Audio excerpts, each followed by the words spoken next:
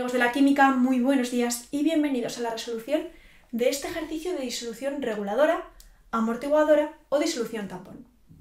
Vamos a leerlo y lo resolvemos. Nos dicen que se desea preparar una disolución amortiguadora de pH 3,5 y nos dicen que contestemos a la siguiente pregunta. ¿Cuál de las siguientes combinaciones sería la más recomendable? Y tenemos aquí cuatro combinaciones de ácido y base conjugada o de base y ácido conjugado. Para cada cual nos dan la constante de acidez o la constante de basicidad. Vamos allá. Lo primero que tenemos que saber es que el pH más eficaz para cada uno va a ser igual al pKa. Por tanto, nuestra estrategia va a ser calcular todos los pKa. Y a partir de los pKa veremos cuál se acerca más al pH que nos pidiera 3,5. 3,5 que sea lo más cercano posible a menos el logaritmo de la constante de acidez, porque el pKa ya sabéis que es menos el logaritmo de esa constante. Con lo cual vamos uno a uno y vamos a ver en todos cuál es pKa. Para el ácido hipocloroso e hipoclorito de sodio, el pKa será igual a menos el logaritmo de la constante de acidez, que vale 3 por 10 a la menos 8.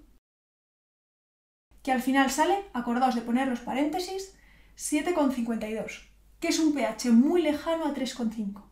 Con lo cual, esta disolución no va a ser eficaz. Vamos a ver otra. Para el caso del ácido cianhídrico y el cianuro de sodio.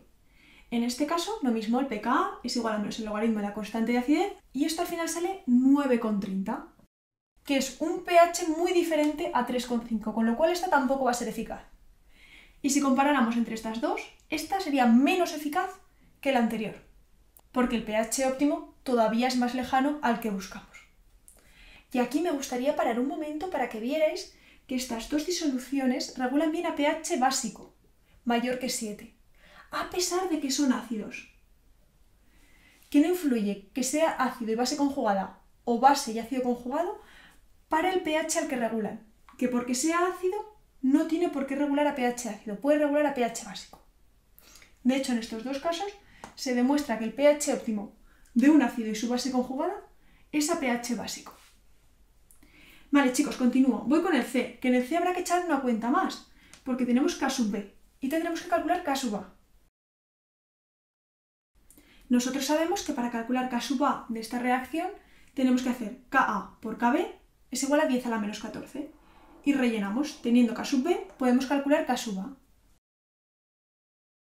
Mirad, podéis hacerlo de estas dos maneras. Podéis poner 10 a la menos 14 entre, y ahora entre paréntesis, todo esto y aquí una multiplicación. O 10 a la menos 14 entre 3,8 y entre 10 a la menos 8 sin paréntesis. ¿Por qué? Porque muchas veces lo ponéis así, de esta forma, y de esta forma es incorrecto.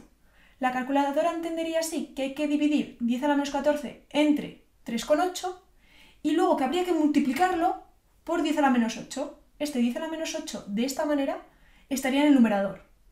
Con lo cual, mucho ojo que las dos formas correctas de hacerlo son estas dos. ¿Vale? Y esto al final sale 2,63 por 10 a la menos 7. Teniendo la constante de acidez ya puedo calcular pKa, que es igual a menos el logaritmo de todo esto, al final sale 6,58. Con lo cual, de momento, la más eficaz sería la C. Sin embargo, todavía se encuentra muy lejos de 3,5. Así que esperamos que en el D se nos acerque un poco más al valor que nos han dado. Vamos a verlo. Vamos allá, el pKa es igual a menos el logaritmo de la constante de acidez, que para este caso es 5,1 por 10 a la menos 4, y esto sale 3,29. Y ahora diremos que este pKa para esta disolución es el más cercano al pH que nos piden. De hecho, se va unas pocas décimas, con lo cual el más eficaz va a ser la disolución de ácido nitroso, HNO2 y nitrito de sodio, NO2, con el sodio. Y ahora os pregunto, vamos a pensarlo, para que esta disolución regule a pH 3,5, ¿qué tendremos que hacer inicialmente? ¿Añadir más ácido o más base? Es decir, tendríamos que añadir más de este compuesto que es el ácido o más de su base conjugada. Lo que queremos es subir el pH hasta 3,5, con lo cual inicialmente añadiremos más base para que el pH suba un poco. Con lo cual las concentraciones de estos serán parecidas pero la de nitrito de sodio ligeramente superior. porque es la base, y así aumentamos un poco este pH óptimo. Vale chicos, pues hasta aquí el vídeo de hoy, espero que lo hayáis entendido y nos vamos a más ejercicios del tema de disoluciones reguladoras. Nos vemos en ellos.